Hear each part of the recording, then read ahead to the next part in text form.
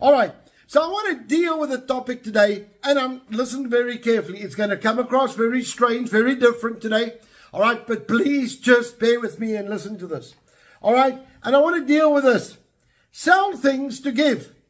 Sell things to give. Luke chapter 12, verse 33 states the following. Sell what you have and give, the, give alms. Provide your, yourselves money bags, which do not grow old, a treasure in, in the heavens that does not fail, where there's no thief, uh, where no thief approaches, nor moth can destroy. Now, I want to deal with this thing. It's a very practical thing. I want to just ask you this. What do you have in your house to sell to give to the poor? Okay?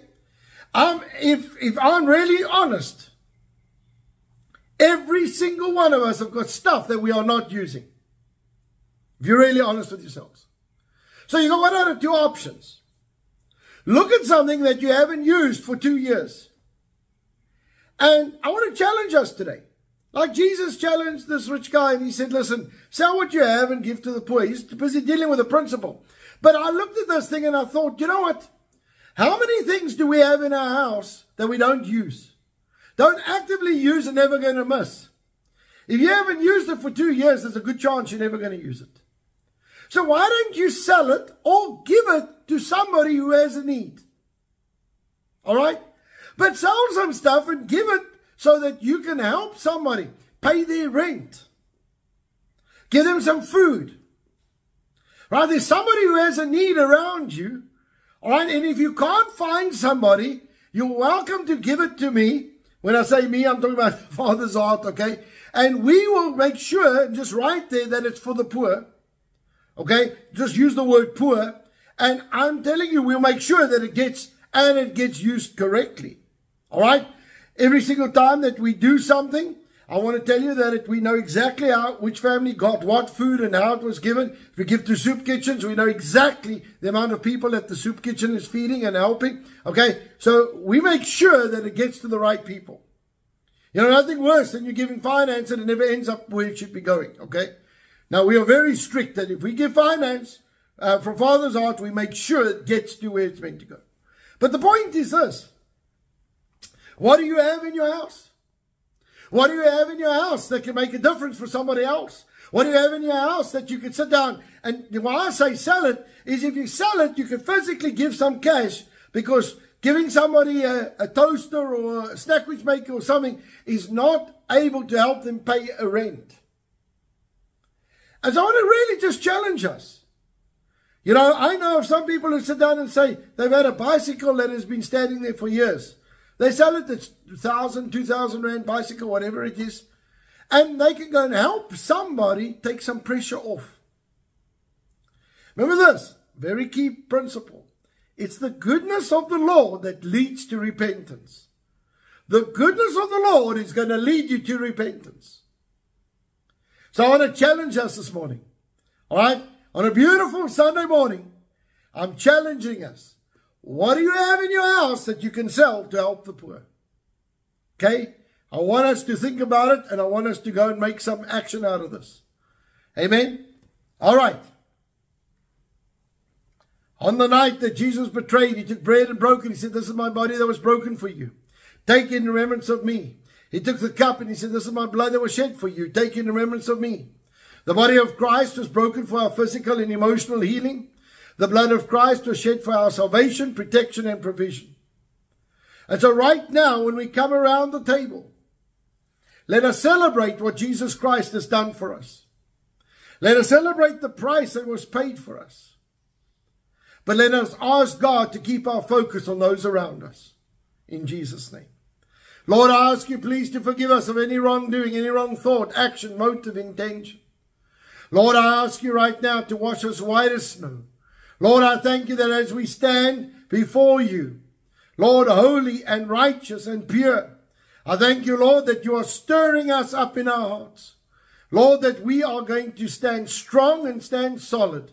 And Lord, that we are going to do what you called us to do in Jesus' name. Lord, we are going to speak life. We are going to speak blessing. But God, I pray right now that we will be aware of any need around us. Lord, I pray that you'll just show us if there's anything in our house, Lord, that we could sell to help those in need. Lord, that we could give some finance to those who really need it. In Jesus' name. Father, I pray right now that you're going to help us. And Lord, that we are going to absolutely see a supernatural miracle take place in the name of Jesus. And we thank you for this in Jesus' name. Lord, I thank you that we can help others and take some pressure off in the name of Jesus. Lord, I pray that as we take of the elements this morning, Lord, that we will have your heart, your heart on those that are needy in the name of Jesus. And everybody said, Amen and Amen. Let's partake together.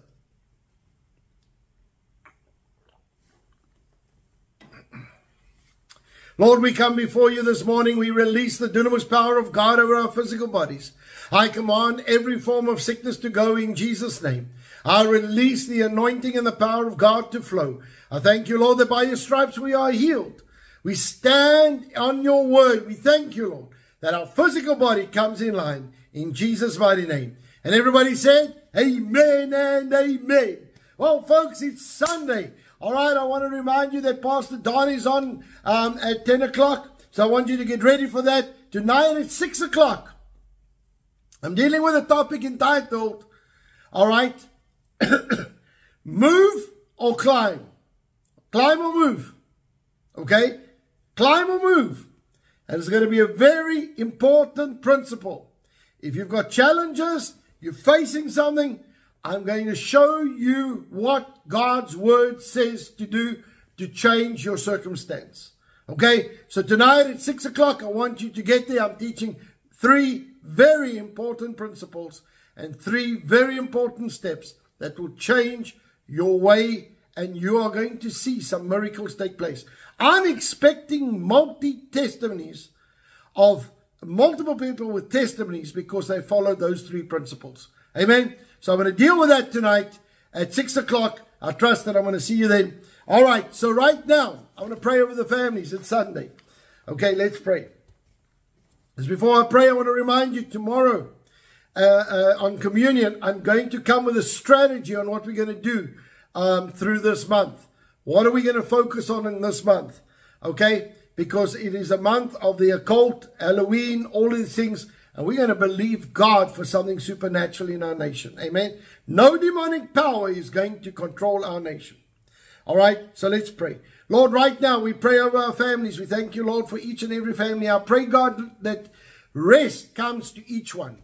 Lord, today I pray rest and peace over our families. Thank you, Lord, that we can just socialize and have fun. Lord, I thank you that our families are secure and solid. Lord, I pray for your peace. I pray for your blessing. I pray for the anointing of God to rest on each family.